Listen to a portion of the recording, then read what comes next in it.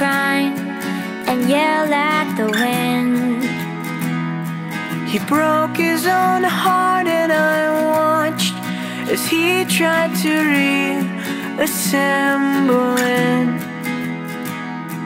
And my mama swore that she would never let herself forget. And that was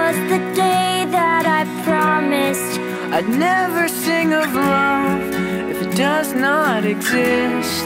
But darling, you are the only exception.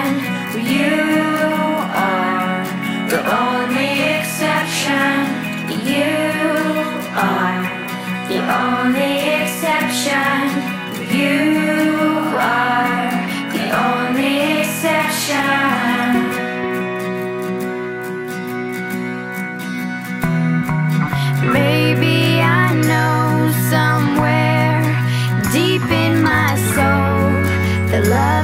never lasts.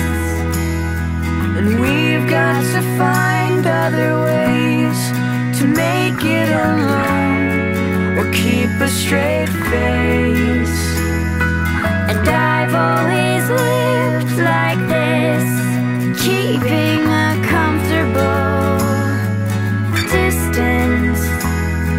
And up until now, I had sworn to myself